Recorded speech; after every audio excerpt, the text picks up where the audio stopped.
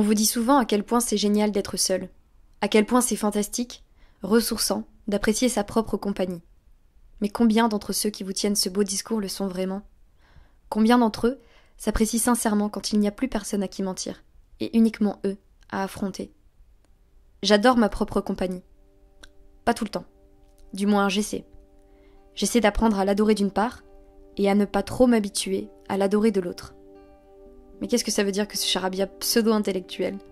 Pourquoi ce parallélisme d'adorer mais de ne pas trop adorer sa compagnie en tout début de réflexion? Parce que l'essence même de tout ce dont je vais vous parler repose sur un parallélisme, une balance imparfaite, à l'équilibre difficile à trouver. Vous savez, c'est étrange. J'ai été avec moi-même pendant 20 ans de ma vie, mais ce n'est qu'à l'aube de mes 21 ans que j'ai enfin fait ma propre connaissance. Être seul.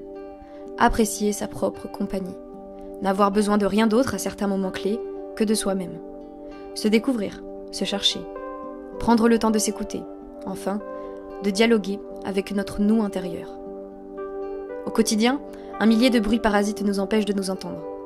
Du réveil qui sonne au matin, au bruit étouffant de la circulation de la ville, entre voitures et piétons pressés, bus et trams bondés, aux conversations dans les couloirs d'école, de la fac, du taf.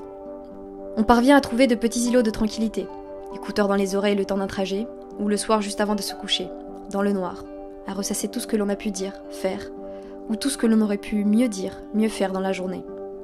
Et puis on dort, on arrête de s'écouter pour ceux qui le peuvent, ou on se laisse submerger par un flot impétueux de tourments pour les autres. Et puis tout recommence le lendemain. Le bruit, les voitures, les gens, la vie. Mais est-ce que c'est dans ces moments-là que l'on est seul face à soi-même? Est-ce que c'est vraiment dans ces environnements surstimulants de tous nos sens? Le bruit, l'odeur, le toucher, la vue, voire le goût, que nous sommes en notre seule compagnie? Peut-on prétendre l'apprécier réellement pour ce qu'elle est, lorsque musique à fond dans les oreilles, série ou film en plein dans nos rétines, nous captive entièrement Ou du moins assez pour que nous n'ayons pas à entendre la petite voix qui traîne dans notre tête, celle qui tambourine tous les jours dans notre cage thoracique, en espérant transpercer un jour tous les tissus de notre être qui l'absorbe? Un jour, justement, j'ai décidé de commencer à l'écouter, à lui donner du crédit. J'ai coupé la musique, j'ai mis Netflix sur pause, et j'ai décidé de lui rendre la parole. Je me suis d'abord rendu compte avec surprise qu'elle n'avait pas mué. Elle avait encore ma voix de petite fille.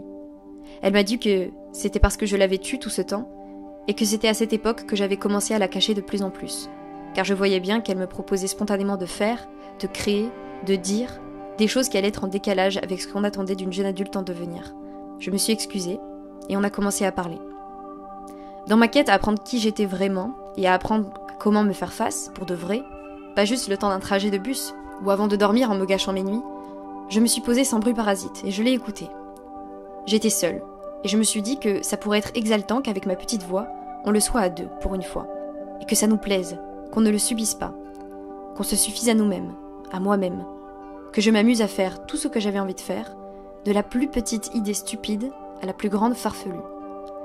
J'ai pris les bus et les trams que j'avais l'habitude de prendre tous les jours en allant à la fac, mais cette fois jusqu'à leurs deux terminus respectifs, juste pour voir jusqu'où ils allaient vraiment, juste par curiosité, à regarder le paysage défiler par la fenêtre tremblante, en écoutant une musique qui, cette fois, ne rendait pas muette mon moi intérieur.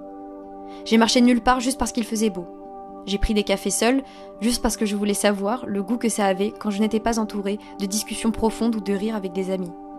J'ai été au cinéma, au théâtre, à l'opéra, au restaurant, dans tout plein de lieux bruyants, mais où je laissais la place à ma petite voix, d'égal à égal, où nous communiquions en silence, sans un mot, avec de simples petits actes. Et puis j'ai commencé à m'y faire, à me faire plaisir en ma propre compagnie, à m'y satisfaire, à n'avoir besoin de rien d'autre. Cela m'a permis d'ôter enfin de mes épaules le poids de toujours remettre la clé de mon bonheur entre les mains des gens m'entourant, mes amis, ma famille, mes amours. J'avais besoin qu'ils soient là, qu'ils m'aident à trouver du sens aux choses, à en donner, j'avais besoin que nous fassions les choses ensemble, car les souvenirs sont plus beaux quand on s'en souvient au moins à deux.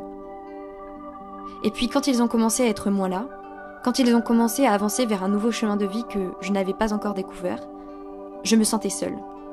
Je savais être seule de temps en temps, ce n'était pas un problème, ça ne me dérangeait pas. J'adorais ça même. Mais quand ils ont commencé à vraiment tous changer de trajectoire, et à vivre leur propre vie tout simplement, je me suis rendu compte que je ne pouvais plus continuer de leur faire peser le poids d'écarter ma solitude. Nous sommes tous et toutes seuls, à plein de moments de nos vies, quoi qu'on en dise, peu importe à quel point vous êtes entouré ou non, il y a toujours un moment où vous serez seul face à vous-même. Et à ce moment-là, comment on fait? Vraiment? Comment on appréhende les choses? Comment on communique avec soi-même? Est-ce que de simples sorties suffiront? Faut-il nécessairement se mettre dans des états pas possibles pour enfin s'entendre? En écho à ma propre expérience, je vous dirais de tester toutes les options que vous avez déjà à votre disposition pour apprendre à réellement vous connaître. Mais surtout, et le plus important, d'écarter le plus possible la peur et l'appréhension de commencer à le faire. J'adore recevoir de longues leçons à propos des bienfaits d'être seul et de savoir apprécier sa propre compagnie par des personnes qui sont toujours entourées.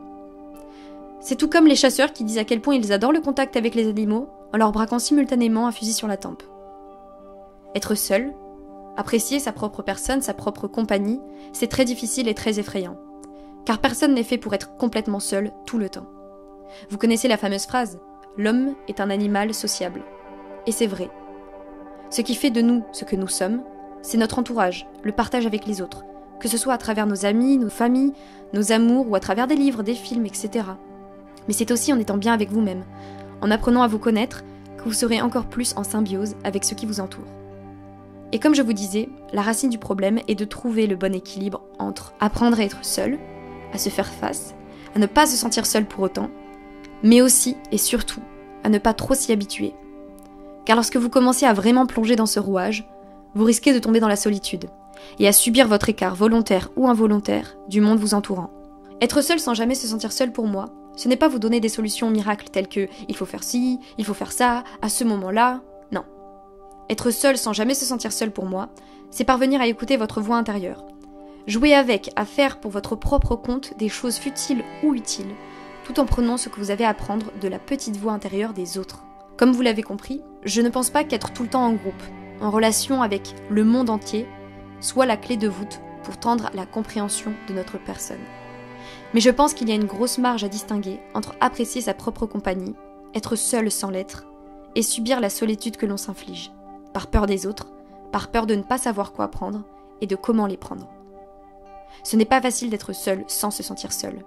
On ne se lève pas un matin en se disant Ok, je suis prêt à être avec moi-même, uniquement moi-même, et à me sentir bien.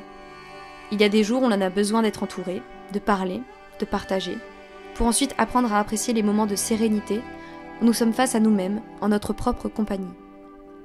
L'objectif, selon moi, est qu'à long terme, on ne subisse pas notre personne, qu'on apprenne à l'écouter, mais aussi à écouter les autres, pour parfois éviter de nous entendre, et de subir une solitude que nous ne voulons pas, qui nous isole et qui nous fait nous sentir pas bien, tout est une question d'équilibre.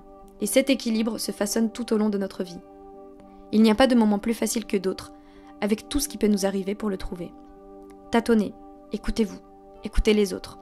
Regardez les ingrédients devant vous et choisissez le gâteau qui vous plaît le plus à manger, et pas celui que vous pensez avoir le plus besoin de faire.